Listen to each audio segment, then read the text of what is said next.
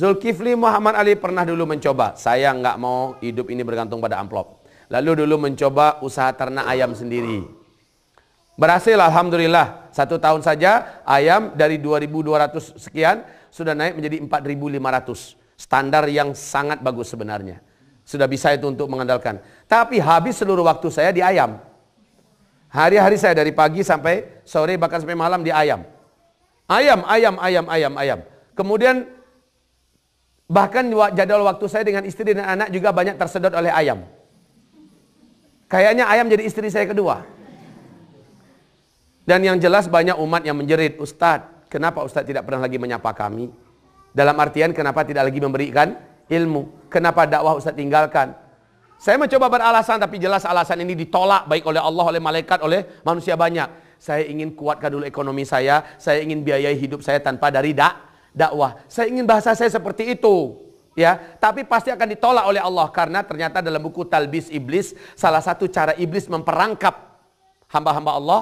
Kalau dia dai caranya adalah kuatkan matangkan dulu ekonomimu. Setelah kuat baru kamu berdakwah. Jadi kamu tidak mengandalkan pemberian sedekah infak daripada umat yang kamu dakwahi murid yang kamu ajar.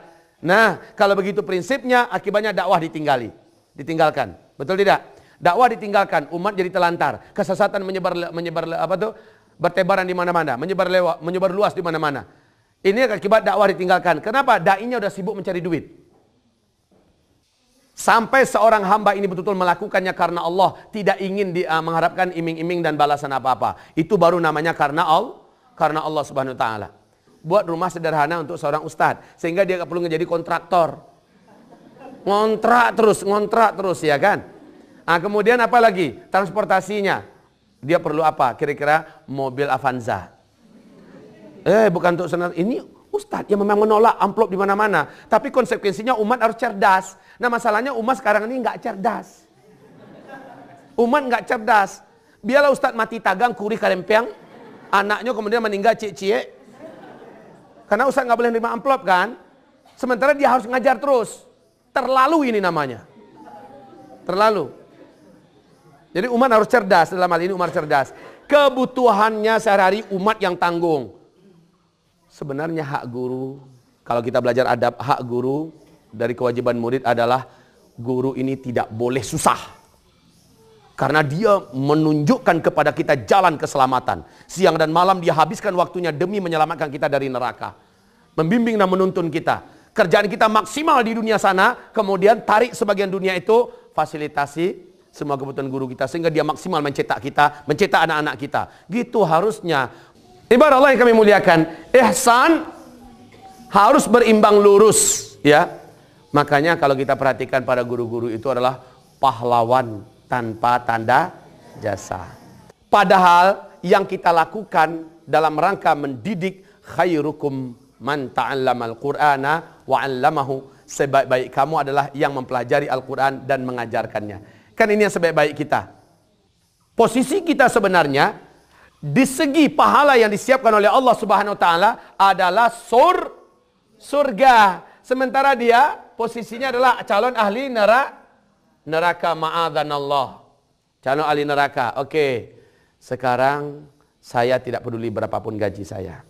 Saya akan maksimal. Karena ini adalah ladang akhirat saya. Yang Allah lihat itu bukan sebanyak mana muridnya, tetapi yang Allah lihat sejauh mana jadi muridnya. Ya kan? Kalau muridnya lahir dari tangannya adalah anak-anak yang ke depan, anak-anak yang santun kepada orang tuanya, anak-anak yang menjadi guru bagi yang lainnya, apa pahala terbesar yang didapatkan? Pahala multi level paha pahala mengalir. Sudahlah posisi antum, posisi Anda semua di posisi orang termulia khairukum. Yang terbaik dari seluruh kalian itu adalah man ta'allamal qur'ana wa 'allamahu. Orang yang terus belajar Al-Quran dan mengajarkannya. Belajar Al-Quran dan mengajarkannya. Gaji satu setengah juta bagi saya nggak masalah. Padahal harusnya gaji seorang guru menurut khilafah Islamiyah antum tahu di dalam pemerintahan khilafah Islamiyah kalau tegak, jadi sebenarnya ada orang sekarang umat Islam anti khilafah sebenarnya dia rugi besar. Karena kalau khilafah Islamiyah tegak, gaji seorang polisi saja satu orang 35 juta rupiah satu bulan. Betul loh. Gaji seorang guru, seorang guru itu ah, berkisar antara 25 sampai 40 juta satu bulan. Pengen nggak tegak khilafah? Kekayaan bukan koruptor yang punya, tapi rakyat yang punya. Rakyat makmur, rumah sakit gratis semua. Listrik gratis. Lah sekarang, listrik pada ke mana harganya? Lah tabungku awak. Listrik ini sekarang harganya sudah gila-gilaan. Masya Allah. Tapi kalau khilafah Islamnya tegak, ya Allah, satpam aja gajinya bisa seperti gaji direktur bank. Satpam loh. Jadi security gajinya saja sudah cukup istrinya tinggal tidur, makan, besarkan anak, didik anak cukup, nggak ada nggak ada kesulitan yang lain. Harga-harga menjadi turun kalau khilafah tegak.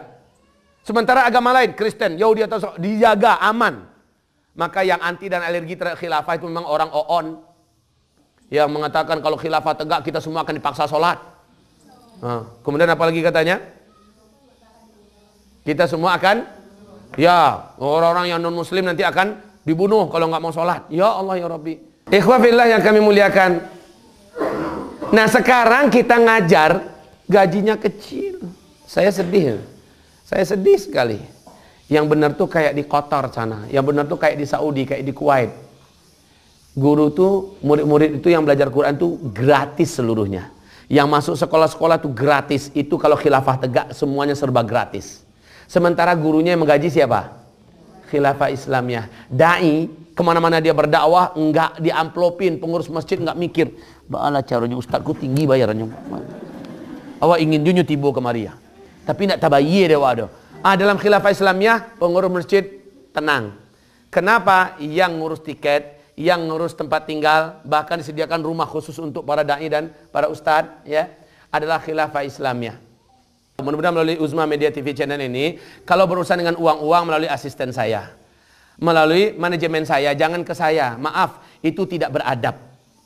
Maka sekarang saya katakan pada pihak yang mengundang, tolong urus dengan Pak Saifullah. Saya katakan sama Pak Saifullah. Sekali lagi, ihsan tentu saja harusnya kebaikan di tingkat tinggi. Dia giah tapi uh, dia memberi tapi tidak mengharapkan terima kasih. Itu namanya ihsan. Nah, ihsan kepada Allah gimana contohnya? Allah perlu nggak kebaikan kita? Allah nggak perlu kan? Kita bersedekah, kita berinfak, kaya nggak Allah dengan infak dan sedekah kita? Enggak. Kita sholat, lalu Allah menjadi terhormat dengan kita sholat kepadanya. Begitu. Kita tahajud. Apakah penting bagi Allah tahajud kita itu? Lalu bagaimana berbuat ihsan kepada Allah? Berbuat ihsan kepada Allah adalah murnikan tauhid kepada Allah. Ini nomor satu. Ini namanya ihsan. Yang kedua contohnya. Allah uji kita dengan ujian. Allah cabut, Allah ambil. Yang paling kita cintai dalam hidup kita. Anak kita umpamanya. Umpama ya. Lalu kita ucapkan kalimat Alhamdulillah. Itu ihsan yang sempurna. Senang dia. Allah subhanahu wa ta'ala mengambil buah hatinya. Padahal dia sangat mencintai buah hati ini. Dia puji Allah. Bukan, Mam, aku ambil anak dan Allah. Banyak anak orang lain-lain. Bukan begitu. Tapi betul-betul dia, Ya Allah, segala puji bagi engkau. Baru dia mengucapkan, Inna lillah wa inna. Ini termasuk ihsan. Ini contoh. Apa contoh ihsan lagi? Apa contoh ihsan lagi? Gampang nih banyak kasih contoh lah. Ustaz Taufik, tolong kasih contoh. Hah? Berpesangka baik kepada Allah Subhanahu wa taala.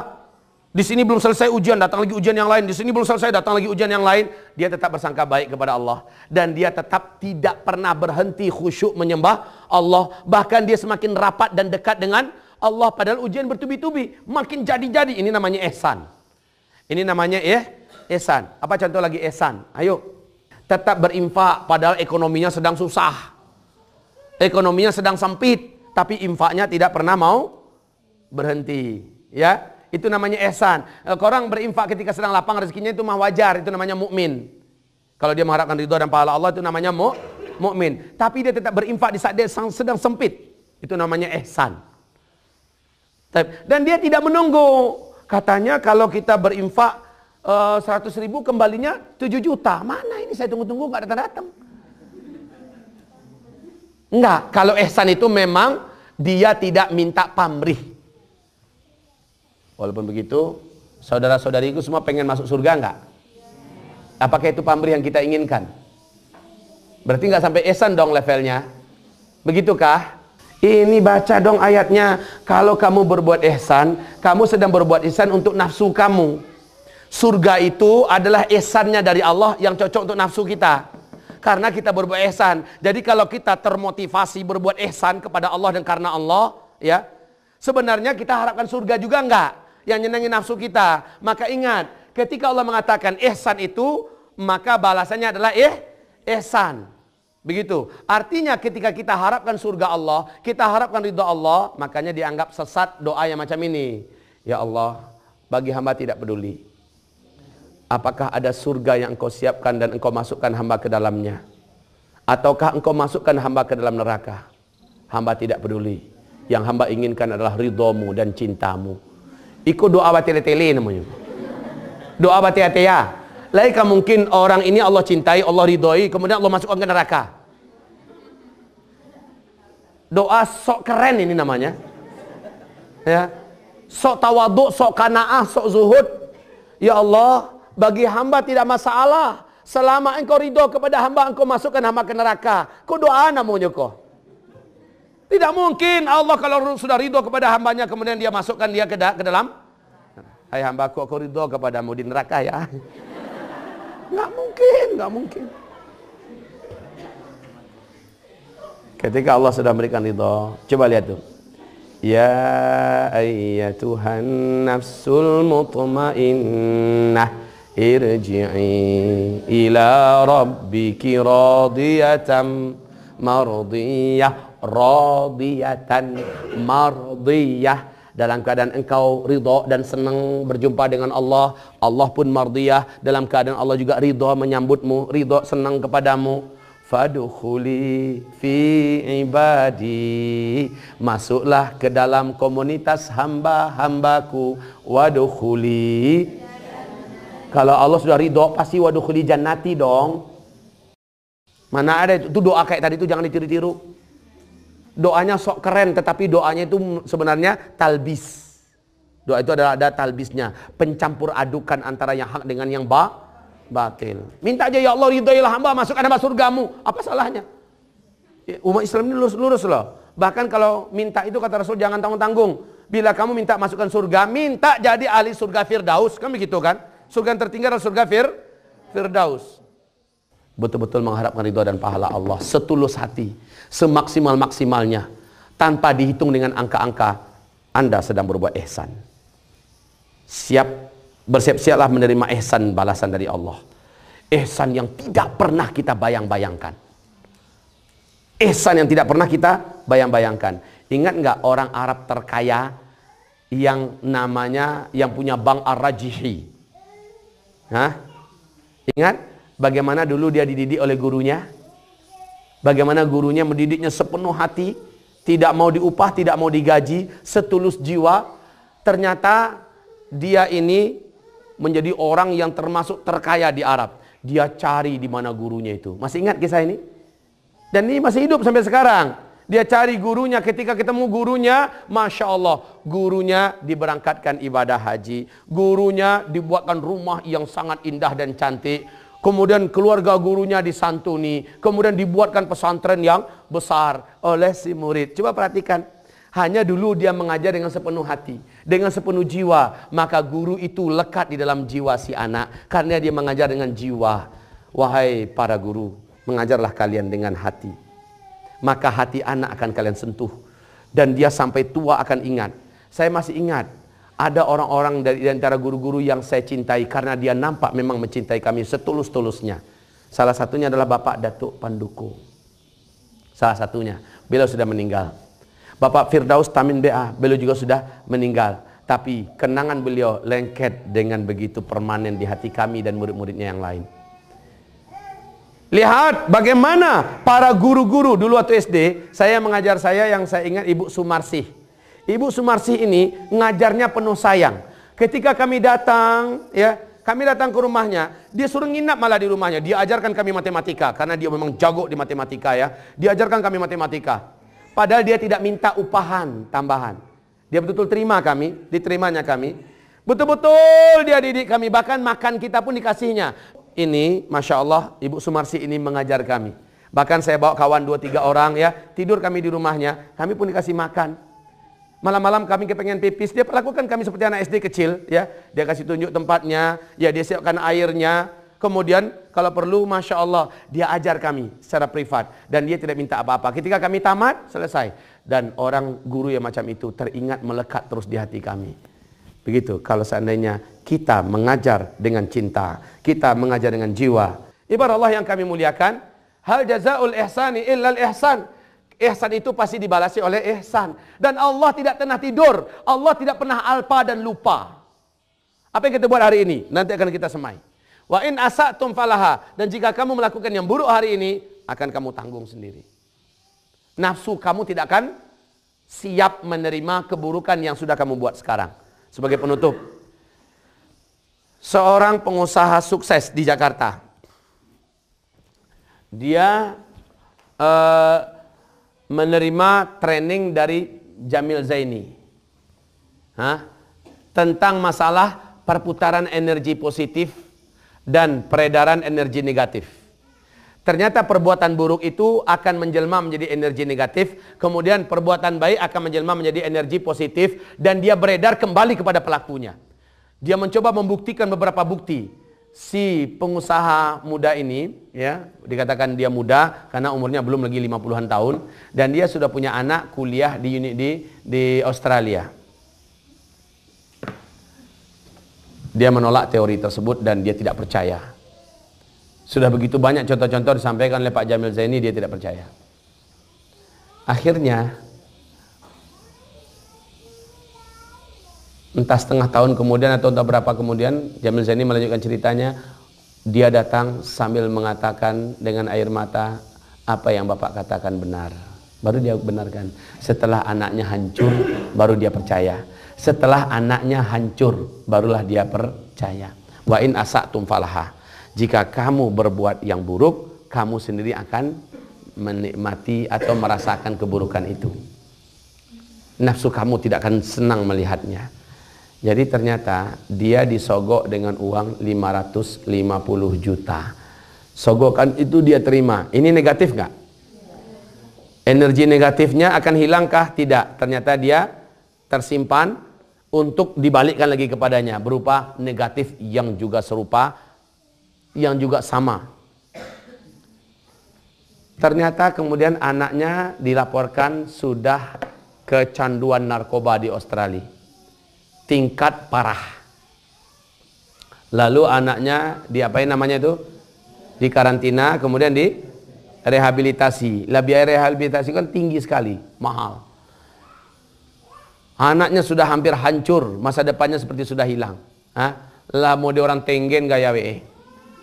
Kemudian dia rehabilitasi, agak sedikit baikan, dia kunjungi lagi anaknya, biayanya sudah sekian ratus juta.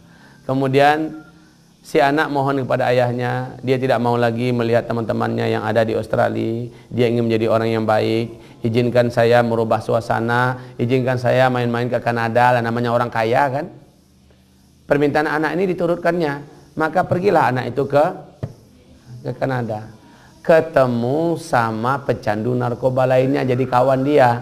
Kebawa lagi, kemudian hancur lagi ini anak. Lalu direhabilitasi lagi ini anak benar-benar rusak, sak, sak.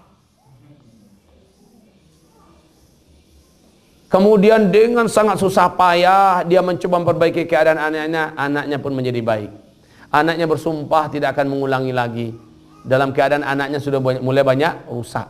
Fisiknya, ingatannya, tubuhnya, udah mulai banyak yang yang yang tidak lagi baik untuk masa depan. Kasihan sekali.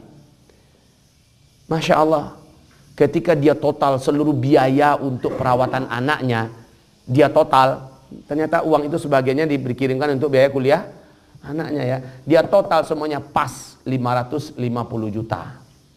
Sebesar angka yang dulu dia terima. Di situ dia teringat apa yang didustakannya dulu bahwa hal jazaul ihsani illal ihsan wa in asatum falaha.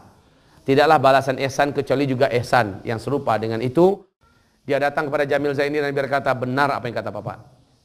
Ya, anak saya hancur, anak saya rusak, biaya perawatannya seluruhnya sebesar yang saya terima. Sudah, hal jazaul ihsani illal ihsan in asatum falaha. Sekarang mau bagaimana? Bapak sekarang pengen punya anak yang soleh solehah. Ya, ternyata istri yang bapak pilih berangkat dari nafsu belaka, dari dunia gelap. Pelacur diambil sebagai istri. Pelacur itu pengennya taubat, tapi kalau dia sudah bersuami baru dia taubat. Ini bukan pelacur. Ya, ini bukan mau tobat. Kalau tobatnya berarti karena orang. Kalau mau tobat tuh nggak ada nggak ada pun dia punya suami dia pasti akan tinggalkan. Kan begitu kan? diambilnya. Kenapa wanita ini udah bertekad, wanita ini cantik, kayaknya penurut. Berarti salah ambil nih Pak. Ya.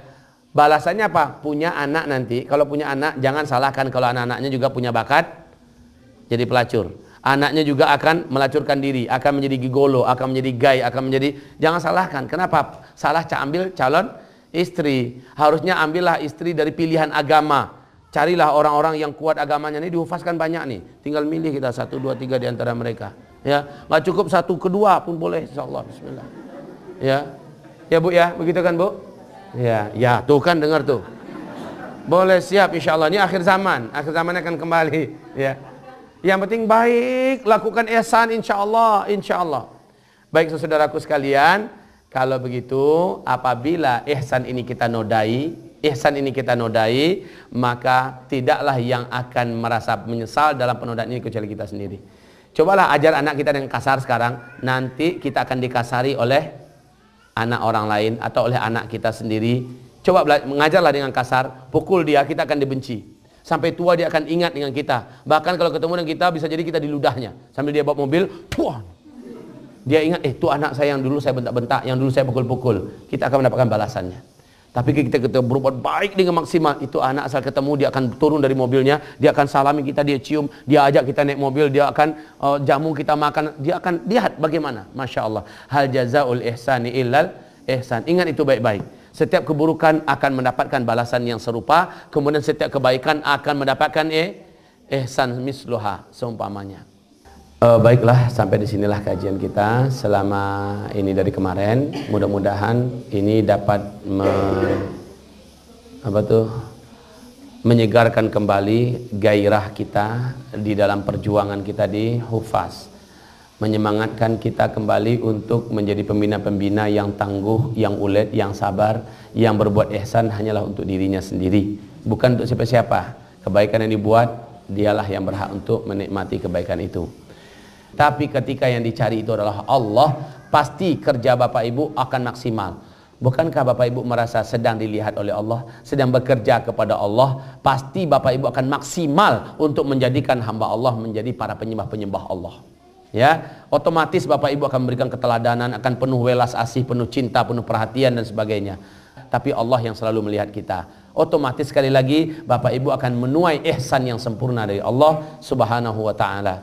Kita tutup sampai di sini. Astaghfirullah, astaghfirullah, astaghfirullah. Subhanakallahumma bihamdika asyhadu an la ilaha illa anta astaghfiruka wa atubu ilaik. Wassalamualaikum warahmatullahi wabarakatuh.